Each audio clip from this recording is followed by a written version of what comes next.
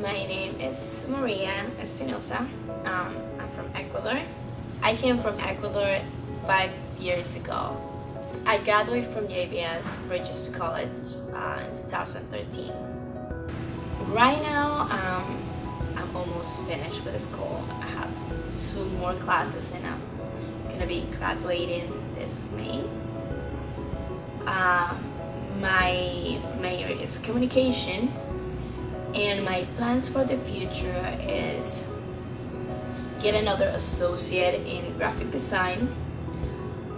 Then I want my bachelor's degree in public relations and maybe with minor in graphic design too so I can have my own company. You know I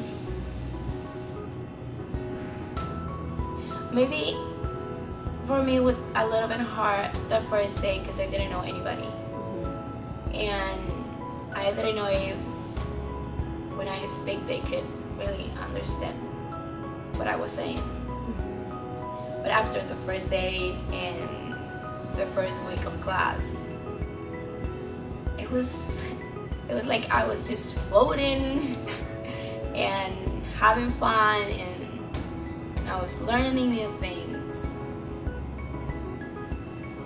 perfect.